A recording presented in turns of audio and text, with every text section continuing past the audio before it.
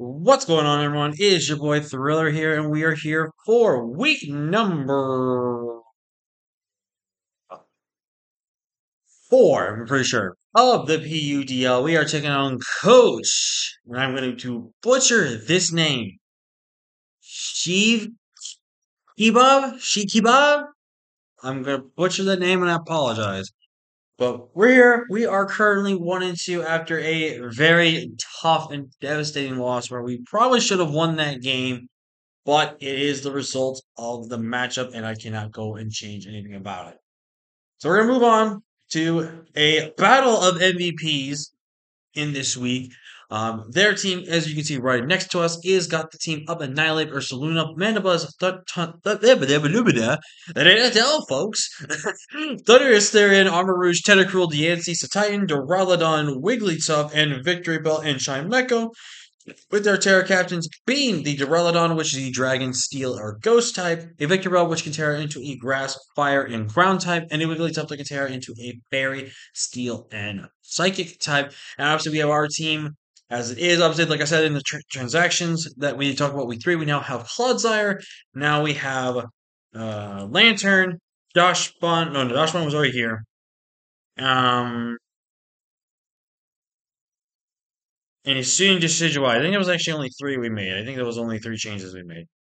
So that is the team. I am expecting the Annihilate. Actually, I can show you what I'm actually expecting real quick.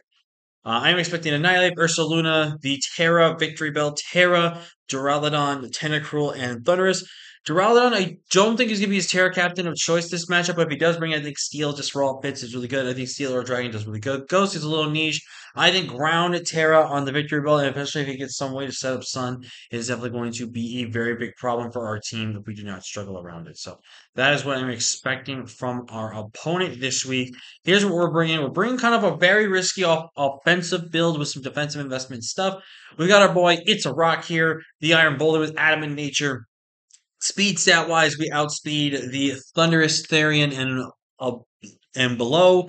Um, with this, we pretty much will just destroy everything with the Swords Dance up. We have Shuca Berry to be able to potentially scout for the um, Victreebel, trying to go for a Tera Blast or any type of ground coverage move it has when it goes for it.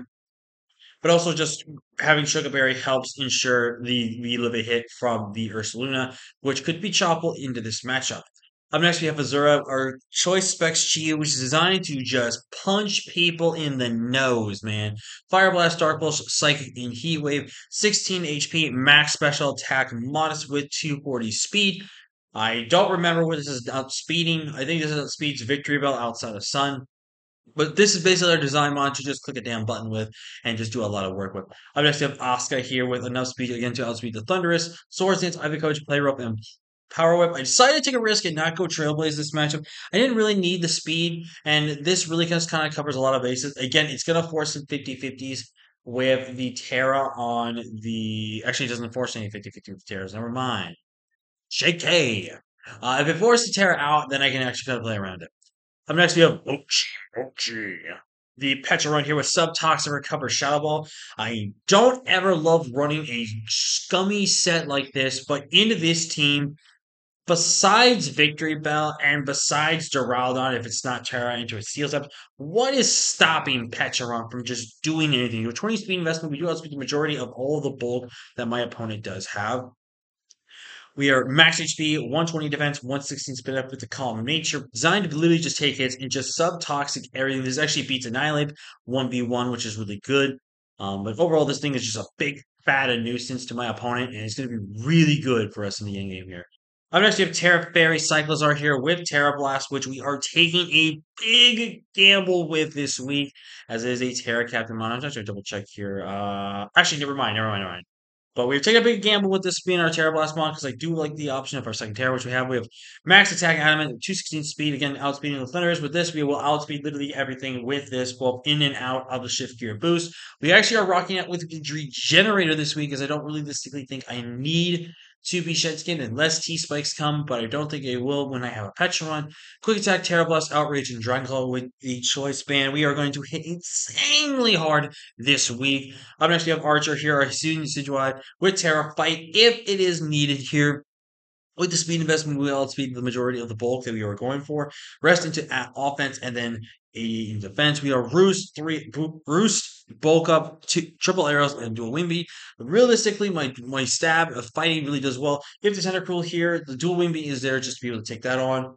But regardless, we are going to hopefully be able to win this match. We really need to pick up a dub to bounce back this week. I'm feeling pretty decently confident about the team let's go ahead and get into the matchup. Now, obviously, I did not check for my sounds to be uh, checked there, so. Also, don't mind me, I'm going to probably munch on some ice cream while we're on the side here.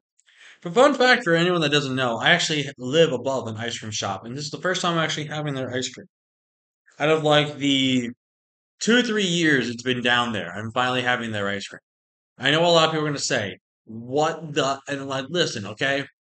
when you work a lot and you're busy all the time, you don't have much free time to really do a lot. So you just got to do what you got to do.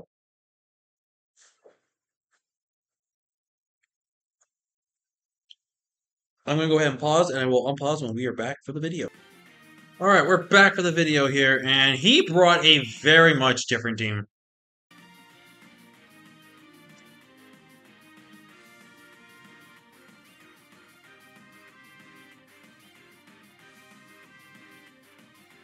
So he actually went with like looks like a trick room route for his team for this game. So no Thundy, which is really nice. I'm actually kind of glad we are now very much offensive.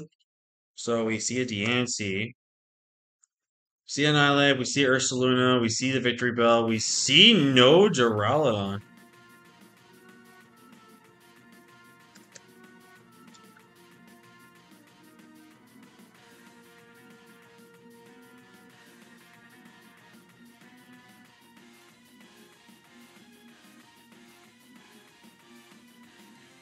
Uh, so we see Mandibuzz. And we see a Armarouge. He gets freaking rocked by my boulder. So looking at the potential lead here. It looks like this battle will be no sound, unfortunately.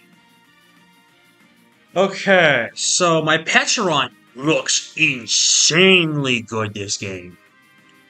My Archer also looks very well into this matchup. Archer really is very much unresisted in this matchup, which is really good. I have to weaken down Diancie, though, but Archer does very well. My Jason, oh my god, Tera Fairy is going to go stupid good in this matchup, which is really awesome. Uh, Oscar also looks fantastic. I just need to bait the Tera on the Victreebel here. But I think I always am going to lead off with my Chi Yu here. My Chi Yu always gets to pick off something here. As mmm, that was the one thing I didn't want to see swapped in. That was the one thing I didn't see swapped in. That is unfortunate. Should have figured that a little bit more, potentially. Alright. If this is Spadef Diancie, it takes 35 to 42%. Diamond Sword picks me up, but I feel like you know this is an easy stealth rock here. I feel like you know this easy stealth rock here. I have no way to realistically remove hazards. So, what do I want to do here? I could try to go bolder, set up a D dance, and by D dance I meant Swords Dance. Uh, if I get a plus two off here, I'm doing so much damage. It's like this is insane. He could trick room here. Is that worst case scenario if he trick rooms here? No, it's not. I'm gonna go to my Mochi. So he does Stealth Rock here. I'm just gonna go for a free Toxic here. Worst case scenario is he does go into... Yeah, I went for the Toxic here.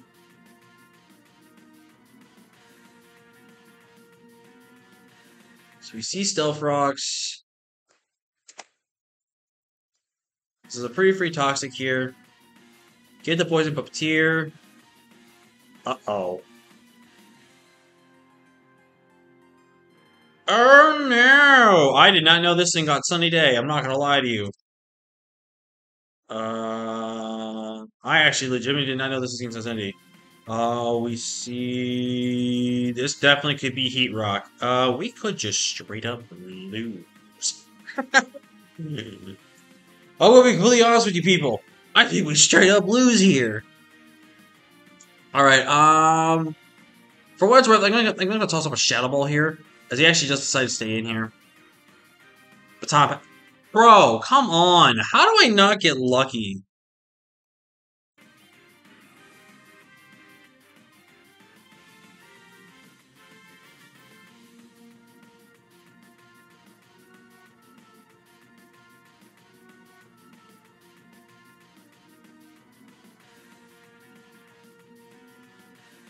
Okay, wow. Alright, Victreebel. This ought to be interesting. So, Victreebel to my Pecharunt here. I do 32 to 40%. We have Tera Blast Ground, which you would have to be in this matchup. Right? You would have to be Tera Ground. You are doing 73 to 86 if you're Life Orb. If you're not, I take a hit here.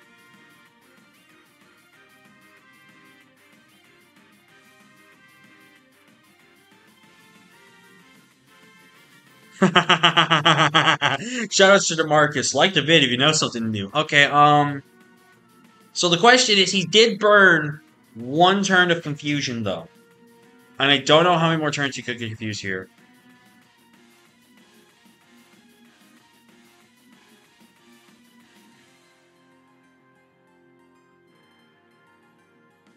Feel like I risk my Pecharunt. I think my Pecharunt's the one I want to risk the most.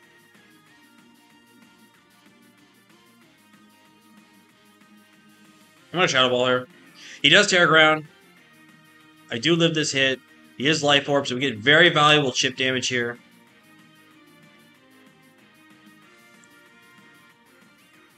I'm gonna go ahead and Fusion does end, so we just sack off off here. Okay. So I go into Cyclizar. Quick attack does 41 to 48. Okay, so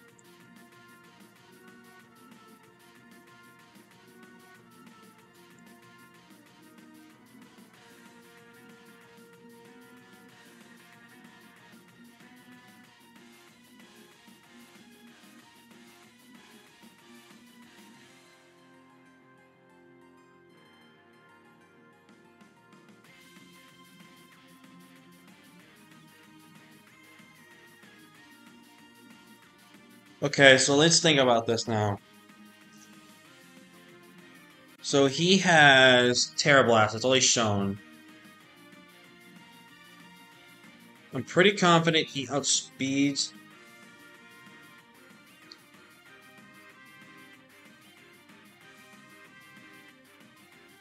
This is to reveal that I am... I'm thinking about it.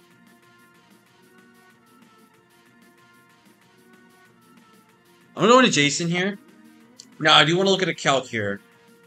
Victreebel, to me, doesn't OHKO me with, with its life orb. Never mind, hold on, hold on, hold on. Uh, 85 to 101. So with that, Bomb does knock me out. Tera Blast, he needs Maxwell to knock me out. I want a quick attack so bad. I want to. I feel like with this though, I scream that I'm scarfed though. I feel like I scream I'm scarfed with this.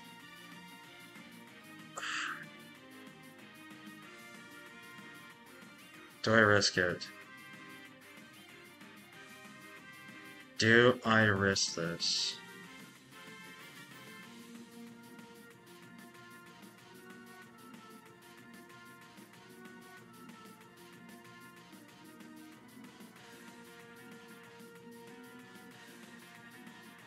I risk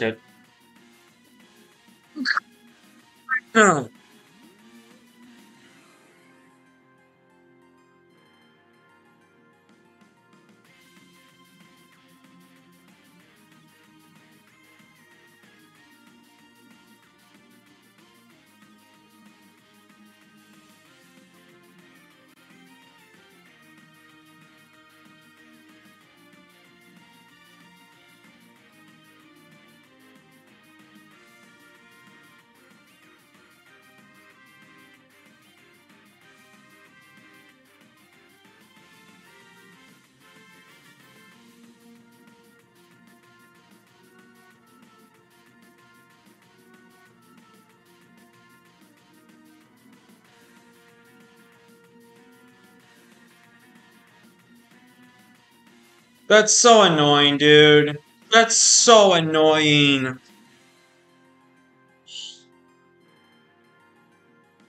That's so.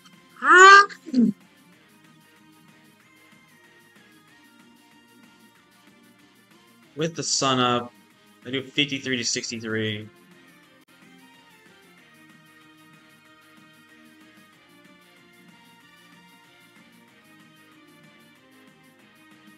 Oh that's so annoying. I have to risk it. I have to full send. I have to hope he goes into Diancie. He actually goes Mandibuzz here.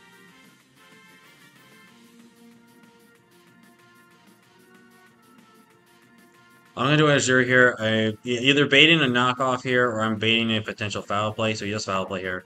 So I can just Fire Blast in the sun.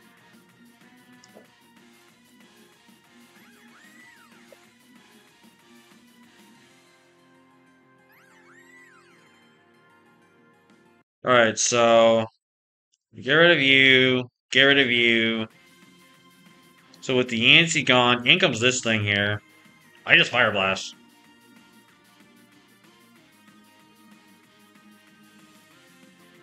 Goodbye. Ursaluna gone. Now we can kind of play around this. In comes the Annihilape here. I'm just gonna Fire Blast again, right? He's not Flash. He's not Flash Fire. He's not Flash. If this is Spadef, though, 73 to 86. But if this is just like max HP, it's dead. Ooh, okay, so he's scarred.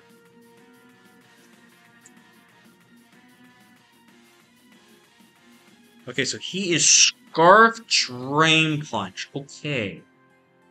Okay, okay, okay, okay. Because I'm faster than this thing, I believe. If it's max speed, I'm not. But it shouldn't be any speed. So it's got to be Scarfed.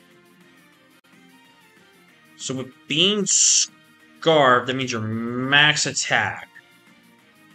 And you're not bulky.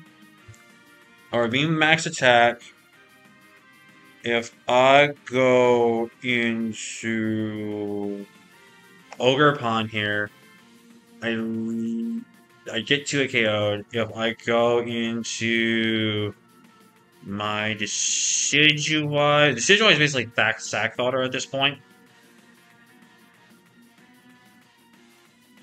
Um, if I go into my boulder here, Rain Punch is a roll to knock 2 AK over here. I think I have to go boulder here. 76%.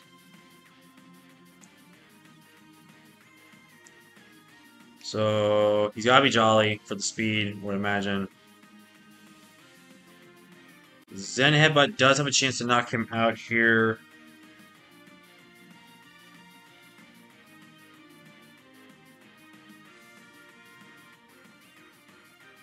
I'm at 76. So this Drain Punch guaranteed 2 KOs me here.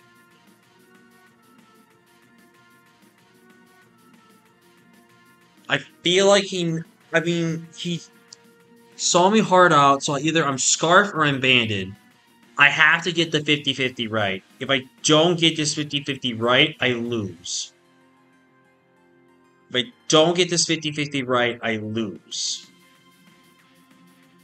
But I feel like he's not going to risk this when he has a free Mandibuzz on the Psychic move, or an or an Armarouge to get the weak armor boost. I'm going to risk it. Okay, he's not Scarf, so he was just max speed. Okay, so he's just max speed, that's fine. We can work with that. Okay. Okay, Boulder, okay. So he wasn't scarfed. He was just pretty much speedy. Okay.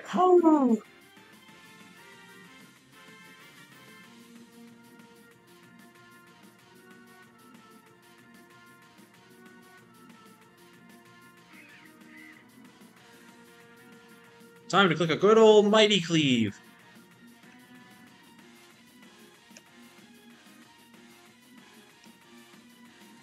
Yes!